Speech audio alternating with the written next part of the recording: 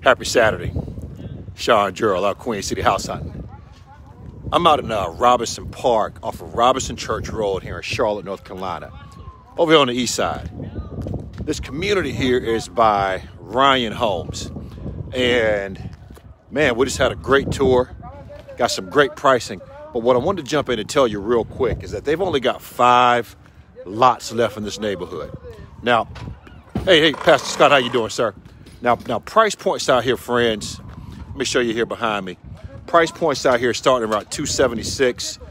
They do have up to a, a five bedroom home out here also that you could build on one of these five lots they've got left. And that home there is going to be priced starting at 300. You've got about 15,000 in upgrades you can do on that home. So out the door, you're probably looking somewhere at 315, 320 to get into that home.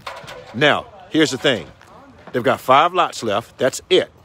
And I tell you what, if you don't take advantage now, they are going to open up a phase three out here in March. But he did let me know the prices are going to go up, guys, roughly roughly ten to fifteen thousand dollars if you don't do it right now. So you've got to jump in right now, grab one of these homes. They got five left. Now, credit score wise, if you use their preferred lender, you're going to need to be at a 640 credit score. But if you do use their lender, they're going to pay your closing costs for you. So that's going to save you a lot of money on the back end. Hey, Michael, how you doing, buddy?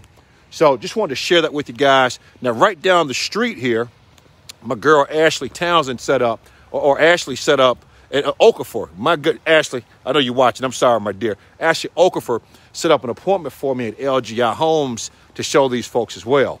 Now, they'll get you in with a 580 credit score. Okay, now, here's the drawback to going into a home with a 580 credit score.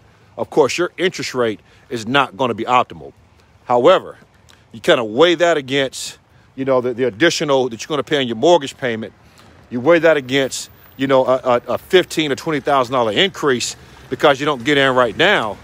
Then you got trouble on your hands. So you could always get in and refinance that home as well. Let me spin this around for you guys real quick. So again, they've got five lots left. You see here, most of these signs say sold.